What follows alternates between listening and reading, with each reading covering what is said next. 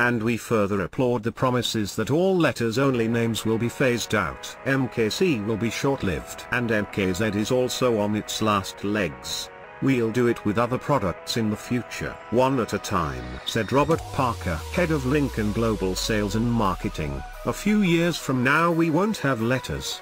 For years Lincoln has been criticized for its naming strategy. Even though executives such as Lincoln President Kumar Galhotra knew there was backlash.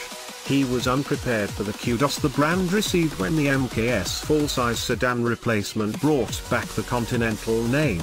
The name change resonated well in the US, but Lincoln's alphabet soup was particularly challenging in China, where Ford started selling the luxury brand a few years ago.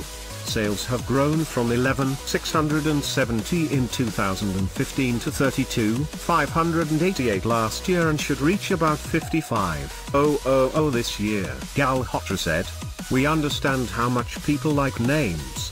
Parker said, it hit home when he was on an airport shuttle in Detroit and a couple on the bus were arguing over the correct name of their own car, a Lincoln. I thought maybe there is something to this.